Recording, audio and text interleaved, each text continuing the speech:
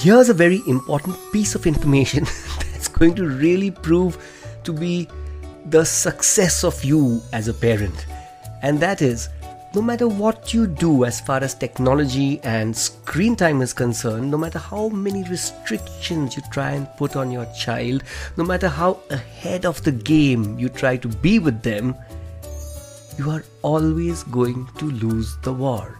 Because no matter how many steps you think you are ahead of your child, your child is going to be ahead of you. Welcome to Dad Musings, and this podcast is about my musings as a father. You know, things I've done with my kids, the fun we've had, the trips we've taken, the advice I've given, the fights we've had, and it all culminates down to when you're musing or thinking about it and just getting nostalgia about all the, all the stuff you've done together. And you think about oh my god could i have done that differently? Should i have done that differently? And uh, if i could go back in time i wonder what would have happened had i done things in a different manner. Right? So this is about me sharing my perspective and not just my perspective but perspective of my kids my daughter Mishka, who's 16, my son Kahan, who's 11, and my wife Chuckles. And I bring in all their perspectives to understand that, oh, is is this how I believed it was, while the rest of us saw it very differently? Or are we on the same page? So, without further ado, let the musings begin. Everything should be amazing. Kids are sweet and adoring, but so confusing what to do. Just listen to Dad Musings. Today, I continue to muse about screen time. We were discussing this in the last episode and it kind of went over 20 minutes. So we're continuing the last one into this episode. And the last one, we spoke to my son Kahan, who's 11 years old, and his perspective on screen time and when we ban him and is it good or bad. And you might be surprised to hear his answers and his perspectives. And uh, it made me feel, wow, uh, he's a lot more mature than he looks or he's yanking my chain and doing a fabulous job of it. So, anyway, that being that, we move on to today's podcast and we continue on uh, musing about screen time. And I will now talk to my daughter Mishka, who is 16 years old. And as we've just discussed, we are under no illusion that our kids are always two steps ahead of us. So, Kahan's a little young, he's still 11 but he's well on his way of getting ahead of us. And we've been warned time and time again by by the school by authorities by parenting figures you know that they will they will find a way to bypass the checks you put on them. And no matter how clever you are you may be the IT head of the biggest company in the world and you may know how it works and how to hack and how people can fool you and therefore what to look out for. But you just cannot win with your kids. They will always be ahead of technology than you because it's in their DNA. Now, for example, I didn't give Mishka, my 16 year old, the password for Netflix or any other streaming service, and she didn't bat an eyelid. Like, we had to give her a laptop, so we did because she needed it for school. But in my head, it was like very clear let's not give her any other distractions. YouTube has very limited videos. Of course, this was back in the last I think four years ago, had very limited amount of stuff you could get. So what can she be distracted with? And she will not get access to any of the video streaming services. And she didn't bat an eyelid. That's cool, Dad. It's all well. Of course, I found out six months later that, and she herself came and told me that, hey, don't worry, we have three to four streaming services that show everything under the sun. So it, I don't need any services. I don't need any of your passwords or anything. And I was like, oh my God, what, limit her screen time to what? I mean, how do I know what she's using it for? And she studies at night, way in, way past 12 o'clock now with her uh, 10th grade exams going on. And there is no way, no way we can tell or control what she does with her screen time. So let's try and understand from her how, how miserably we are failing or succeeding with her and screen time. So, Mishka, we have really tried and perhaps failed miserably to limit your screen time Oh god. and threaten to put locks on your screen threaten to i don't know uh, make you feel terrible about what you're doing on screen etc how did that make you feel I invoke my Fifth Amendment right. yeah that's far better than your brother did because kahan was all about i love it when you restrict my screen time oh, oh, oh you, god. you, you think so he was fake. pulling a fast one on us Yeah, yeah, for sure. oh really he Yeah. really believed it i told him three or four times kahan don't pull a fast i said no No, no. it was really great You know what? I think he really thinks like he that he's telling the truth. Like he genuinely believes that he's being serious. but when he's running around crying and throwing yeah, tantrums that's a separate. That's That's a giveaway. that's when you know. That's when you know. Okay. How do I feel? I feel like you guys don't trust me. But we don't.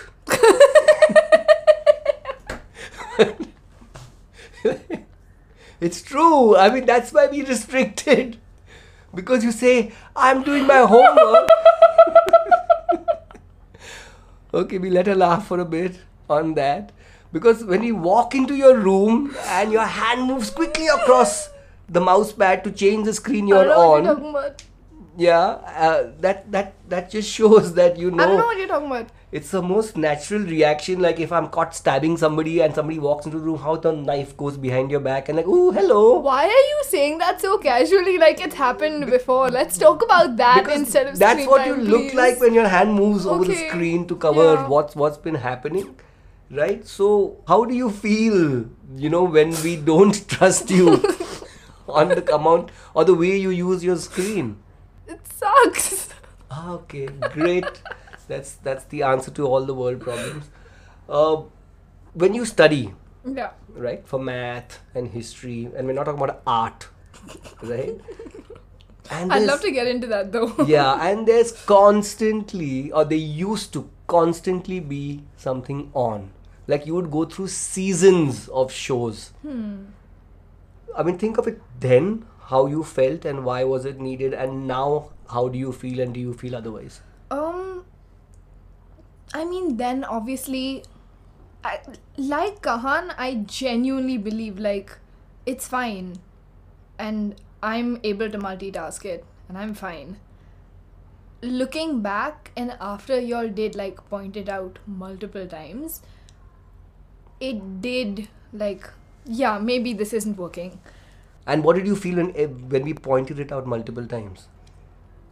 there was a sense of denial of like no you don't know what you're talking about i know that it's fine and i know it's working but it wasn't Now think about it from a slightly more mature perspective. oh god Was it like almost akin to us taking away drugs from a drug addict?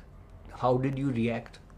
in a much less intense sense of course but yes it could be a comparison one can draw You are or you were hooked on to i yeah.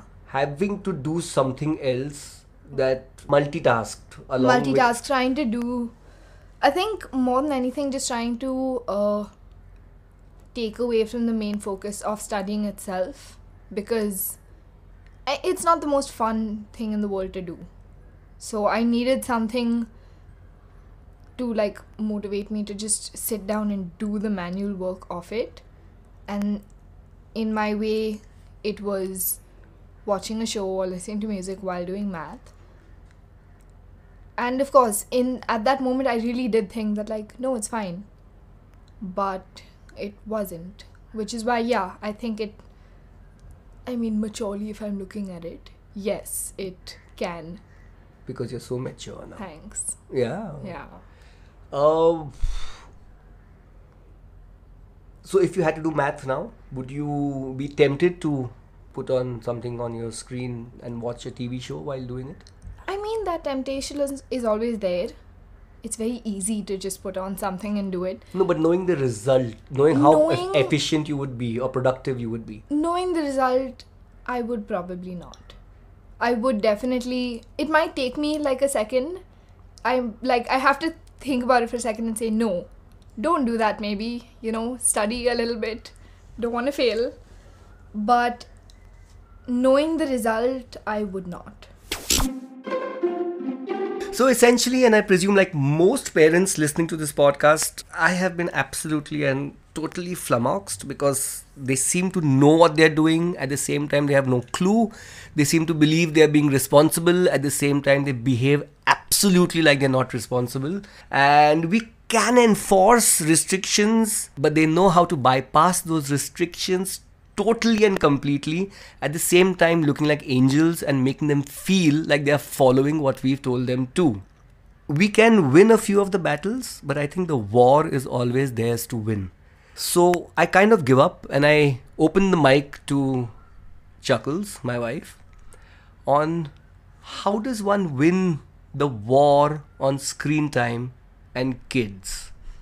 Oh no. Oh no. Yeah. Oh, it's the bane of my existence. oh no. Right. No, really, it's more important than the yin and yang or why the chicken crossed the road. It's it's it's more confounding than any question. You know, it is such a wonderfully creative, constructive tool if only used right.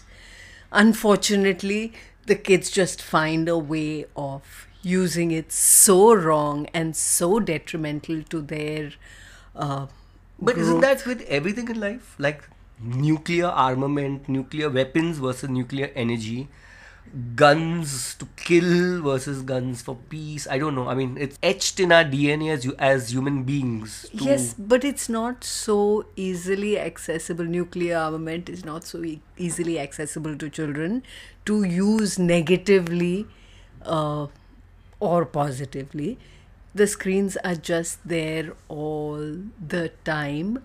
I've attended multiple workshops, uh, had discussions at school where exactly what you said we've been told they will find a way to outsmart you. They are the next gen and don't try and go one step above beyond them because you'll you'll never be able to catch up. They are always a step ahead of you. From what i've learned and from what i have imbibed so far the simplest thing is to not fight them go with them have conversations and keep trying to find ways and introduce them to ways in which they can use it constructively and creatively. Because however this might be the bane of my existence i also see the flip side. When the child uses it positively i am like overflowing with pride and i say yes that's my next generation bacha who's using it so well to maybe do coding or maybe solve a problem that i'm having and they're like oh it's so simple. Or design something for you. or design something yes. So when it is used creatively oh yeah i'm very proud because that's that's the child who's going to prosper in their life in the next generation where i will probably take a back seat. So it's a balance Like we tried to balance Kahan's viewing on TV, for example, and said, okay, if you must watch TV, then watch something to do with history or watch something to do with the language you're learning, let's say Hindi and Marathi or in Marathi, or watch some Discovery Channel on Nat Geo or something on animals. Did that last very long? Not at all. I can count the minutes or hours that it lasted. They also know that if the parents are in a bad mood, then they will say, Oh, how about let's watch a documentary? Because they know that will calm us down. But no, it doesn't last. Uh, also, the kind of content that they not just are watching but churning out is something that is way beyond me. It's mindless, it is bizarre, the kind of things that are getting eyeballs from random people. So, eh, when I said that, you know, tr- let us try and harness the children and let them make good content. Maybe that'll, you know, take them further in life. Maybe he'll become a good editor or he'll make films one day. So I gave him a lot of tips on how to do a vlog and how it can be informative and everything. And he did follow me for a bit. But eventually, when he does, in my words, in my opinion, brain dead content, it goes viral. It goes viral. So again, I'm flummoxed. I don't know what to say. What is what? What is it? So when he makes good, intelligent content, giving information, people are bored. People don't want to see that. So it's not gratifying for him when he doesn't get the views. However, if he does something really silly about slime or about, uh, I don't know, Just a cartoon character jumping up and down. yeah, or ASMR, which is a very, very common catchphrase, which is just like un- un- unpacking a new thing is called ASMR, and that goes viral. I have nothing to say. So this is not a war that we can win. No, it's not a war we can win. So what do we do? We, we, uh, We just hope that they grow up fast, get out of the house, and leave us alone. yes, I have no answer to this one. All right. I think we've met our match with screen time. And yeah, all the best to all you parents out there. we have no answer. So, all right. That's it then. Wow. It seems like we've actually and finally and truly met our match with screen time. It's important, it's the future, it's teaching your children, it's arming them with the tools that will constitute the correct armament, the correct weapons that will allow them to navigate the world. At the same time, it's kind of kind of uh, getting them down, changing their mood, maybe killing a lot of creativity, uh, getting them cranky. It's it's wow. It's what it's it's great and it's terrible. so what do we do? I don't have the answer to this, but I mean this is what we do, and uh, you know this probably could work for you too. And one of the things was that we use screens in shared spaces. Um, for example, like your drawing room or your living room or your dining room, where there's constantly people going around, walking by, because this, of course, uh, kind of like an open door policy that is, don't do it behind closed doors. This makes them feel more accountable makes them feel more responsible for what they are watching and what they are doing because anyone can walk in at any point of time and it gives them a feeling of anxiety of let me not do something wrong. Let me do the right thing because i don't want to be caught doing the wrong thing. We also try and keep another open door policy if i may use these words with our kids. And that's basically about what have they been seeing on the internet. They come and discuss with us stuff that they've seen which could be embarrassing or which has really adversely affected them. Like i remember kahan coming to us uh, at a much younger age saying dad i'm i'm very upset. I i saw some some women or some men they are half naked and they had no clothes on and i i'm it was wrong. I, I is it wrong? I don't know. I it, it just did not feel correct. And uh, we were like okay can you take us back to where you saw it? And i don't think he could because it may have been a pop-up ad or you know that thing that comes on the right side of your browser where ads are constantly being showed to you.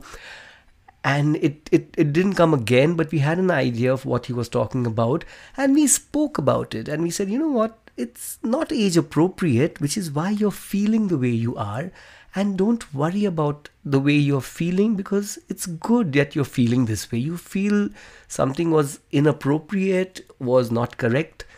It's making you feel vastly grossly uncomfortable. And there's truth to that feeling So don't run away from it. Just embrace it. Be okay with that feeling. And let's discuss what you saw. Oh, so this is what they were doing. They were dancing or they were hugging each other and getting really up close. And that made you uncomfortable. And okay, so this is kind of what the world is. And this is what people do. And it's okay. There's nothing wrong with it.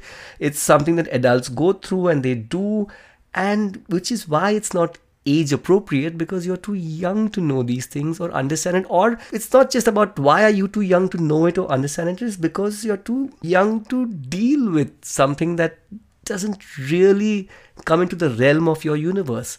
And we really truly thrashed it out. And he was a lot more comfortable at the end of that saying oh okay fine. So the next time i see it i'm not going to get so shaken up about it but i'll just ignore it and move on which i think was the best we could do at that time. Another thing you can do, YouTube for Kids worked very well for us, especially when he was younger, because it kind of filtered through all that content that was so age inappropriate. And of course, we finally had to lift it, but when we did, he was much more comfortable with anything that might come his way. Uh, parental controls, screen locks, program locks, until you can. Why not? But at some point, they're going to bypass it. I mean, even comments, like we spoke about Kahan in the earlier podcast, we did put restrictions that nobody should be able to or allowed to comment on his videos. And it works up to a point. It's protecting them until it's age appropriate enough for them to be able to handle the world when they come off a certain age. And lastly, I would say if you must watch TV or they must watch TV, you know, watch something that might help, like a documentary or Animal Planet or something that will add to their knowledge in a more constructive manner. And like like Aditi said, you know, it, it worked up to a point, but largely it did not with with Kahan, our son. Uh, but I would say, even if he had to watch it three times out of 10, where he would have watched it zero times out of 10, it still was more than nothing, or three times more than nothing. So, to my mind, it still did work.